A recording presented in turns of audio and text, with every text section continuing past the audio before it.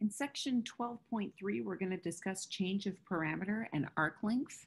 Just a brief disclaimer here that this is a significantly shortened excerpt of section 12.3 from the text. I just pulled several items out, but I'm not covering the full section um, that you see in the textbook. So I have a remark here to discuss what the arc length of a parametric curve is. If you recall from Calc 2, we've actually already seen this definition in two dimensions. We're now expanding it to three dimensions. So I'm going to assume that I'm working with a three-dimensional parametric curve um, in that we have the three parametric equations x of t, y of t, z of t, and I'm also going to assume that I have a restriction on my t value. So I only am looking at a portion of that curve where t is ranging from a to b. If I want to find the arc length of that curve, look at what we're working with. On the inside of this integral is the distance formula with the derivatives involved. So how you can think of this is computing a small distance of a tangent line, and then our integral here is adding up all of these various pieces of tangent line to come up with an overarching arc length. Because remember, the integral is an underlying sum if you think back to the Riemann sums. And so our definition here for arc length, or I should say our formula for arc length is we're taking the integral from a to b of the square root of the sum of the squares of the derivatives, all with respect to t. Now we've seen this formula previously in two dimensions. If we are doing two dimensions, we're just gonna drop that dz dt term and only look at the x and y dimensions. So let's jump into a couple of examples here. Find the arc length of the parametric curve. So first what I'm gonna do is I'm gonna compute the derivatives of each component function. So dx dt is gonna be a negative three sine t. dy dt is going to be 3 cosine t. And then dz dt is the constant 4. Again, we are given a restriction on t. That's not something that we need to compute. That'll always be given in the context of the problem. And so we're now ready to set up our integral. So we're going to integrate from 0 to pi. And then I want to take the square root of the sum of the derivative squared. So dx dt squared is going to be a 9 sine squared t. dy dt squared is a 9 cosine squared t.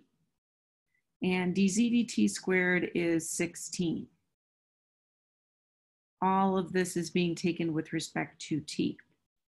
So if we look a little bit closer at the first two terms under the radical, I can factor a 9 out and I'm left with a sine squared t plus a cosine squared t. And so we recognize that to be the Pythagorean identity, that that is equal to one. And so this integral collapses to the integral from zero to pi of the square root of nine plus 16 or 25. So in other words, I just get the integral of five dt. So this is 5t, and then applying the fundamental theorem of calculus, we get 5 times pi minus 0, and so for this one, we have an arc length of five pi units. So you'll notice whenever we're working with sines and cosines that Pythagorean identity is gonna come in very handy in order to reduce multiple terms to fewer terms. Let's look at another example. And let's start out by computing the derivatives first. So beginning with dx dt here, I'm looking at this t squared term, so I get 2t. Let's take a look now at dy dt. So I'm focusing in on this term, y of t. Derivative of cosine goes to negative sine. But when I look a little bit closer at y of t, this second term is actually a product. So I'm going to apply the product rule. The derivative of t is 1, giving me just a sine of t and then t times this, the derivative of sine of t, which is cosine of t. So what we see is this plus and minus signs simplify, and we're left with just t cosine t. In the same vein, let's compute dz dt. The derivative of sine is cosine. And then apply the product rule yet again. The derivative of negative t is negative 1, leave the cosine. And then the derivative of cosine is a negative sine. So there's my product rule. Yet again, the plus and minus cosine are going to cancel. I have a double negative here, which leaves me to a positive t sine t. So what started out as really complicated um, component functions here really simplified once we took that derivative. So now let's plug it all into the arc length formula.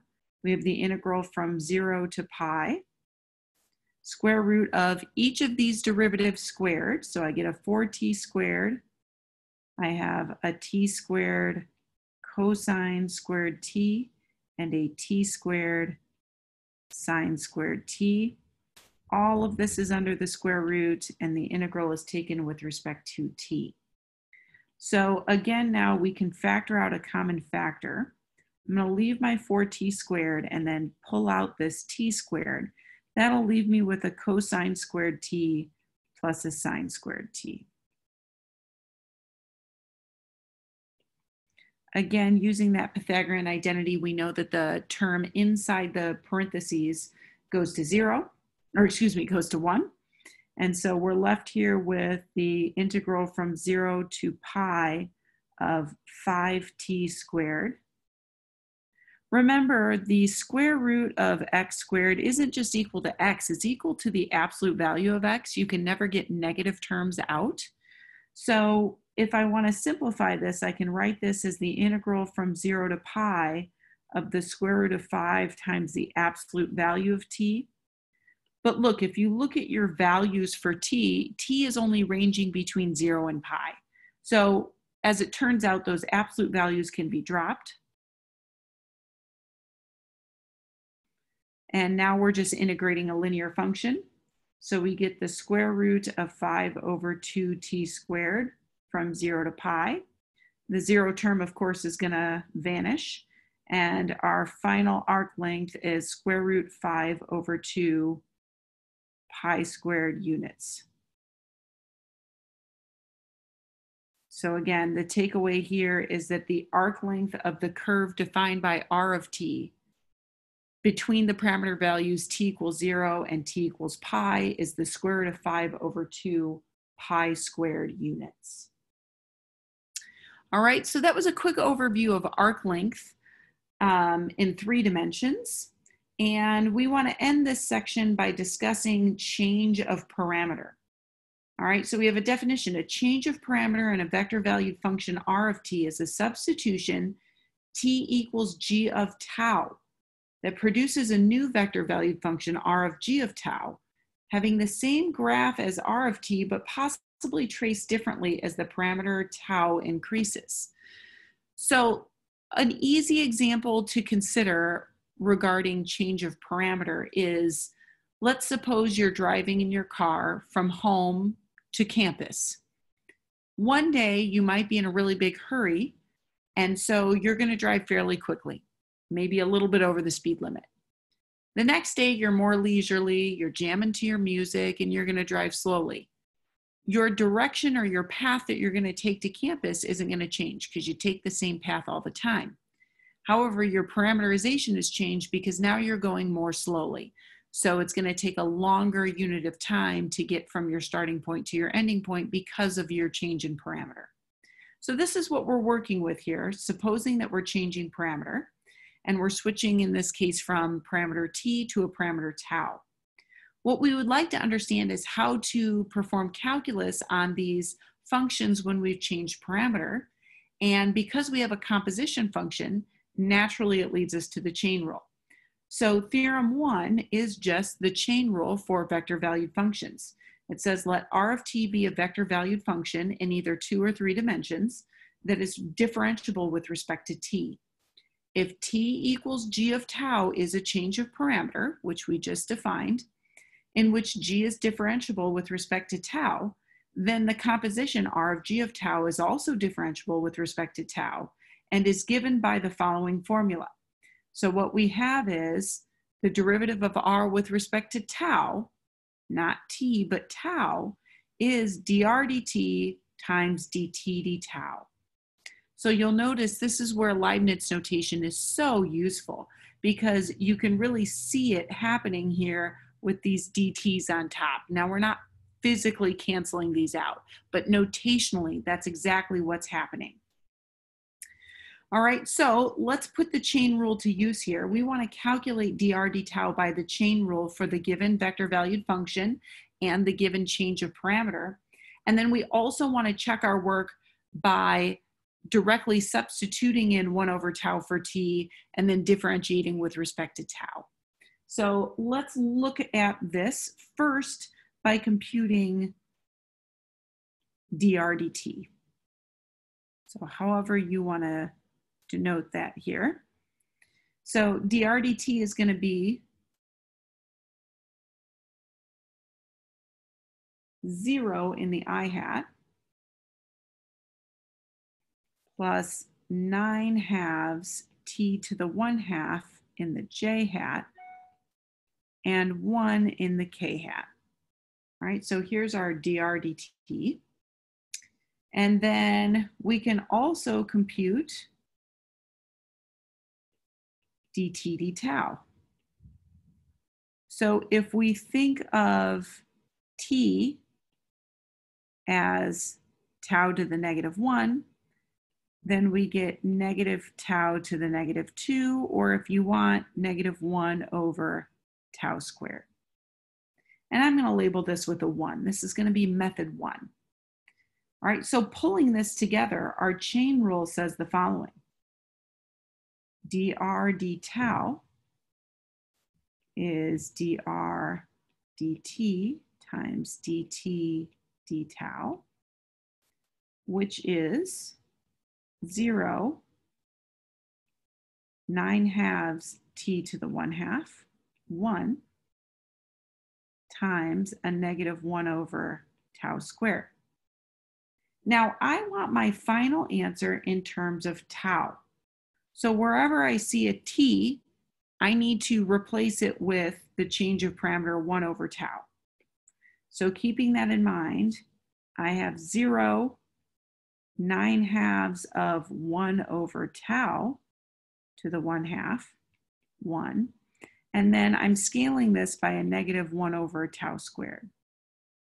So once I simplify everything, what I'm getting here is 0, 9 halves, and I'm going to combine, let's see, this is negative. I'm going to combine these. I have a tau to the negative 1 half and a tau to the negative 2. So that becomes a tau to the negative 5 halves. And then at keeping with this negative exponent, I'm going to keep it as a tau to the negative 2 here. All right, so this is my answer for dr d tau following the chain rule. Next, we would like to ensure that we have the correct answer by doing it the old fashioned way. So I'm going to now find r of tau, not the derivative, but just taking the original vector valued function r, and wherever I see a t, replacing it with 1 over tau. So I'm going to write this as i hat plus 3. I'm going to write it as a tau inverse to the 3 halves j hat plus tau inverse k hat.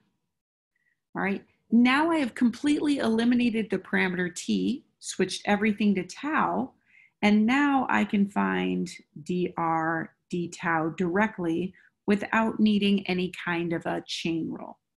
So derivative of one is zero. Um, let me do one introductory step here and write this as a tau to the negative three halves. And I'll do that in the next step.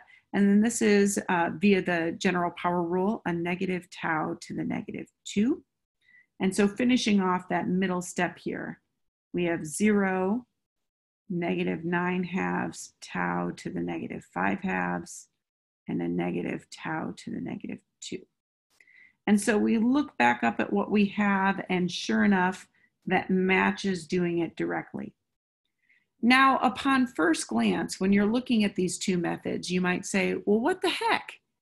Method two was so much quicker. Why wouldn't we do that every time? In this particular example, solving for drd tau directly by means of substituting first is simpler. That is because our change of parameter, t equals 1 over tau, was a simple change of parameters. Had it been significantly more complicated, then the chain rule would have been much more beneficial. It's just not hard, it's just not easy to see in this particular example. All right, and that's it for our notes on section 12.3, arc length and change of parameter.